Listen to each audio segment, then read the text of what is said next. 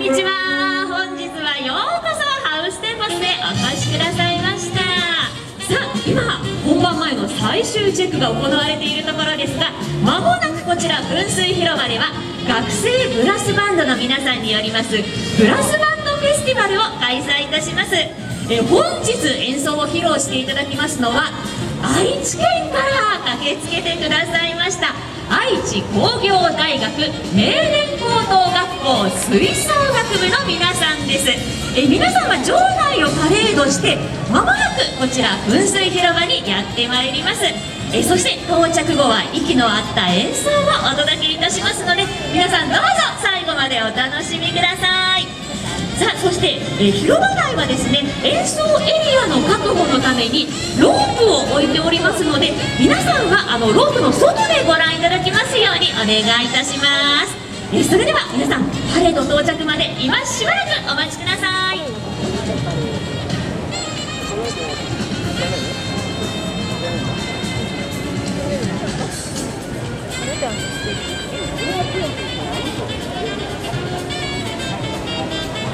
度スケート。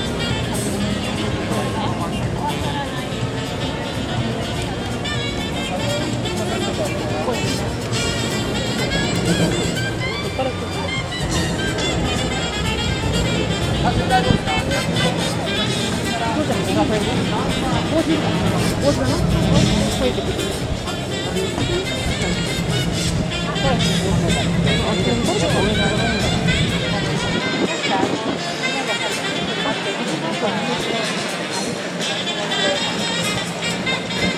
あ、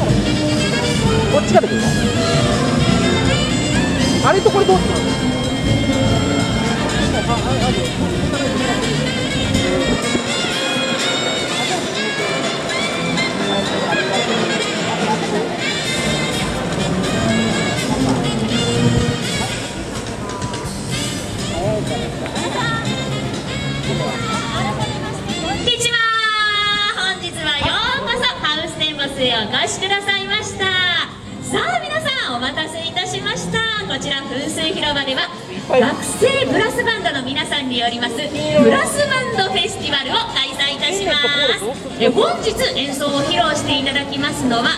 全国的にも有名ですね。愛知県から駆けつけてくださいました。愛知工業大学名電高等学校吹奏楽部の皆さんでございます。え皆さんは今場内をパレードして間もなくこちら噴水広場にやってまいります。さあ愛工大名電昨日はね夏の高校野球甲子園でもサヨナラを収めましてベスト16に進出しましたよね。さあパレード間もなく到着到着予定でございます。あもうすでに賑やかな音が聞こえてきましたね。愛知工業大学名電高等学校吹奏楽部の皆さん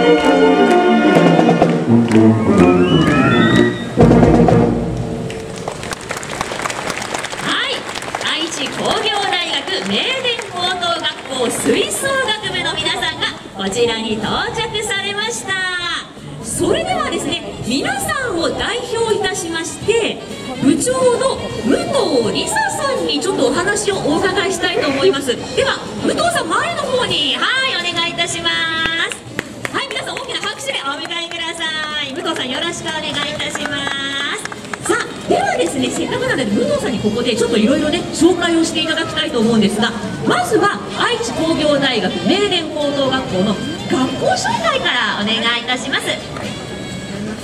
司会の方も言ってくださいましたが愛知県からやってきました。愛知県名古屋市にある愛知工業大学名電高等学校吹奏楽部です。愛知工業大学名電高校の部。全員の学校の人数はなんと1700人です。マンモス校と呼ばれています。その中でもあの35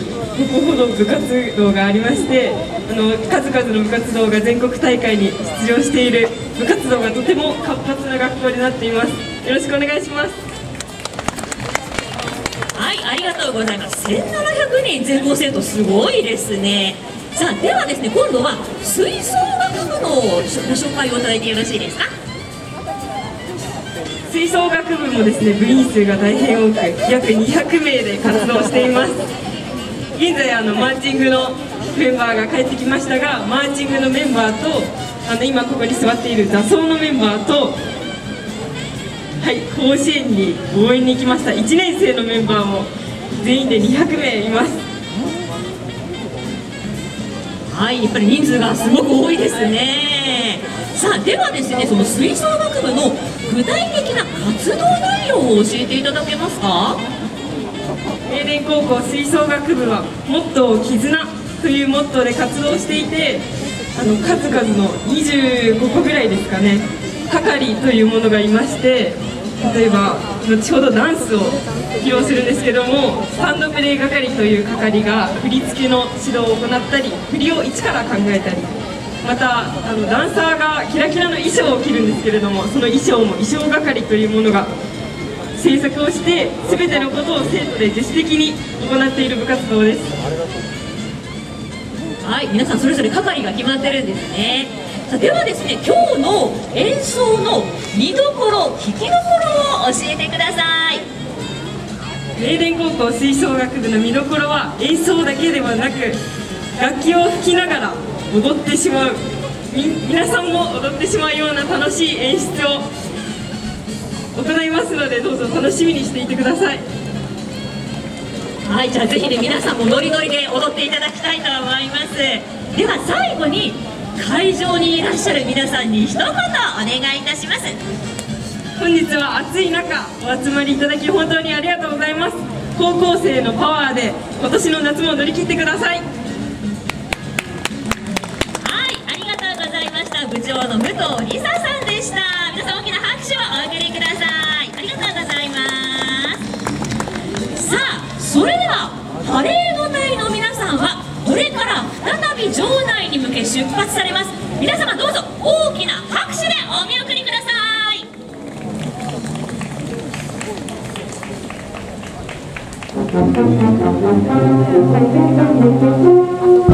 い。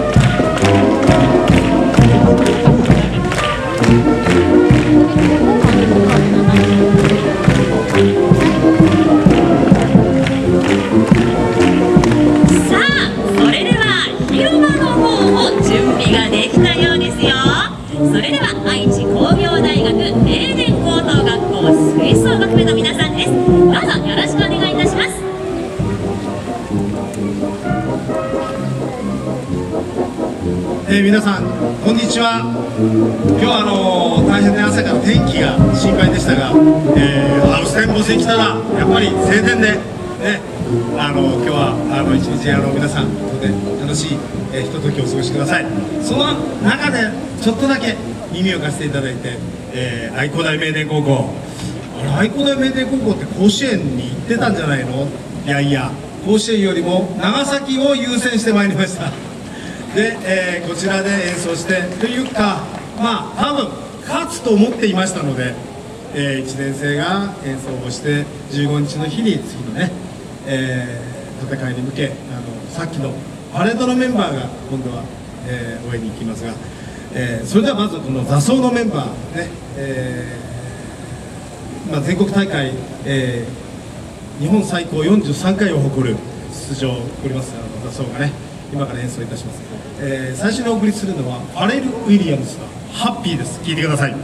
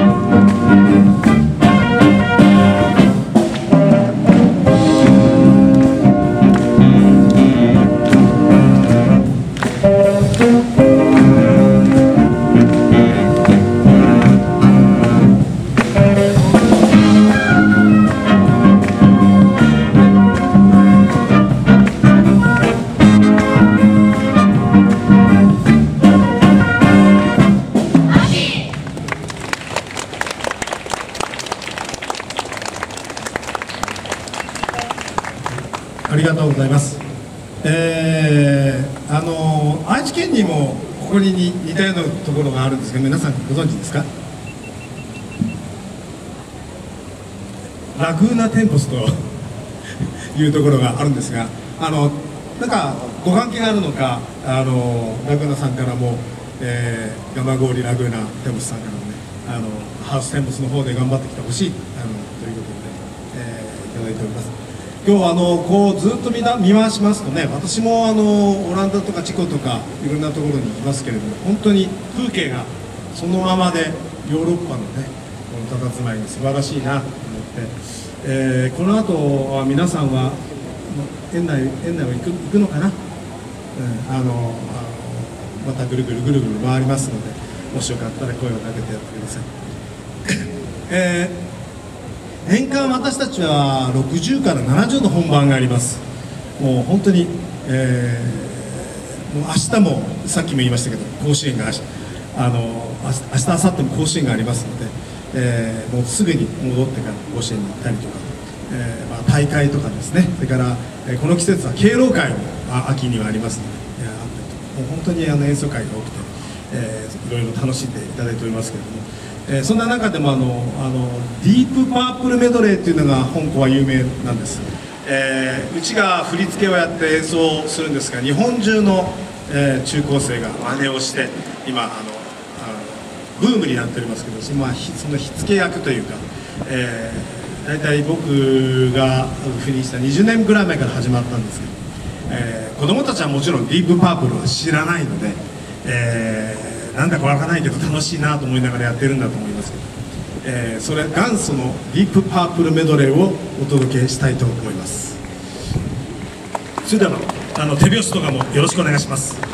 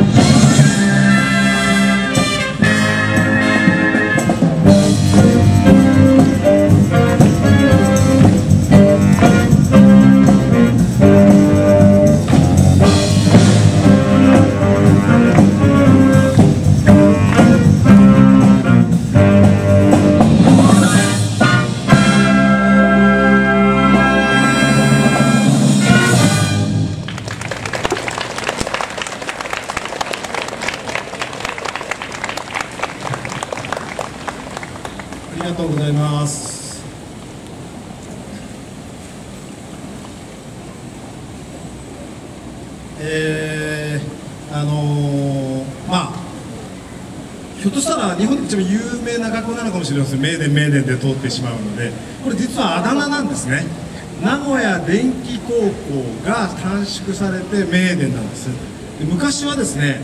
えー我々の頃は私は卒業生ではないんですが、あのー男子校だったので、えー男子校だったので、え3000人の男子の生徒でもって、え成り立ってた学校ですねそれが30年ぐらい前から女子が入り、えーそれで、あの共学ということで今は吹奏楽部の部員が多いのもあるんですけれども、えー6割ぐらいが、えー女子生ですね。それであの、えー皆さんあの明電高校というと有名な卒業生はご存知ですか？そうですね。あのまあ工藤監督もそうでしたけどもあの、まあ、イチロー選手ですよね、えー学校も毎日8時半から始まって3時にぴったり終わると。であのもうそこからはみんな部活動。もう毎日が同じ。あのあの時間割は変わっていきますけど時間帯は同じで、えー毎日毎日のルーティンが大切だと。毎日毎日同じルーティンをすることで保っていくんだっていうのがあの学校の風紀でもありますので、まあ、イチロー選手のその、ね、あのその生き方というか日々日々目標を持ってコツコツ頑張る。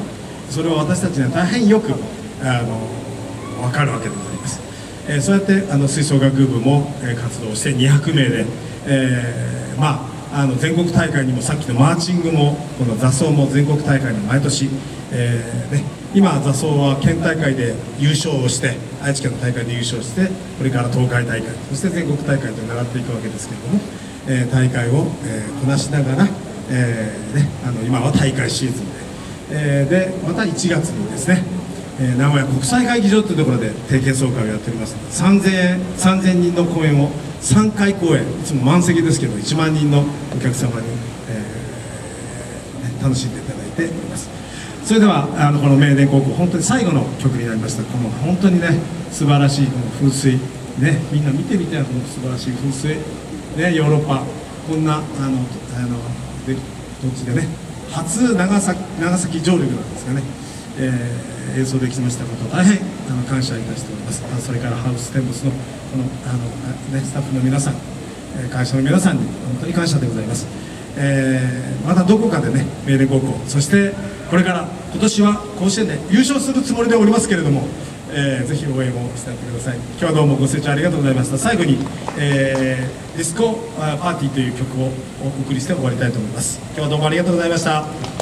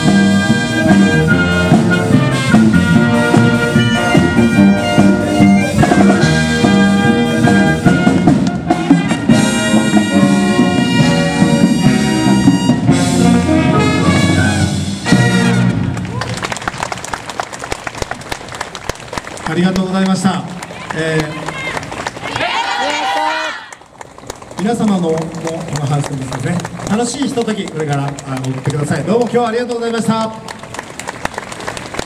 い、愛知工業大学名電高等学校吹奏楽部の皆さんでした。どうぞ今一度大きな拍手をお送りください。ありがとうございました。ね、本当に素晴らしい演奏そしてかっこいいダンスを披露していただきました。さあ、このブラスバンドフェスティバルなんですが明日も開催いたします。明日は京都